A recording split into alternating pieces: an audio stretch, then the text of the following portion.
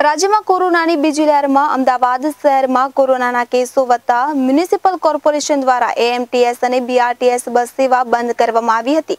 પરંતુ અમદાવાદમાં કોરોનાના કેસોમાં હવે ઘટાડો થતા એટલે કે આજથી એમટીએસ અને બીઆરટીએસ બસ સેવા ફરી શરૂ થવા અંગે વાતો ચર્ચાઈ રહી હતી. પરંતુ શહેરમાં વિકાસના કામોના લોકાર્પણ અને કમિટીઓના ચેરમેનની નિમણૂકતોની વ્યવસ્થાને લીધે આ અંગે હજી સુધી કોઈ નિર્ણય લેવામાં આવ્યો નથી. તેમજ મ્યુનિસિપલ કમિશનર અને સત્તાધીશો વચ્ચે ચર્ચા થયા બાદ આગામી એક જૂનના રોજ એએમટીએસ અને બીઆરટીએસ બસ દોડાવવાનો નિર્ણય લેવામાં આવે તેવી સંભાવનાઓ વર્તાઈ રહી છે. ઉલ્લેખનીય છે કે એમટીએસ અને બીઆરટીએસ બસો બંધ હોવાને કારણે રિક્ષા ચાલકો દ્વારા બેફામપણે ભાડું વસૂલવામાં આવી રહ્યું હતું અને જેને લઈને સામાન્ય મુસાફરોને રિક્ષામાં સવારી કરવા માટે મજબૂરીમાં મોં માંગ્યું ભાડું આપવાની ફરજ પડી હોય છે. અને સાથે જ છેલ્લા એક સપ્તાહથી પેટ્રોલ અને ડીઝલમાં સતત વધારો થઈ રહ્યો છે, જેથી સામાન્ય વાહન ચાલકોને પણ પોતાનું વાહન ચલાવવું હવે મોંઘું પડી રહ્યું છે.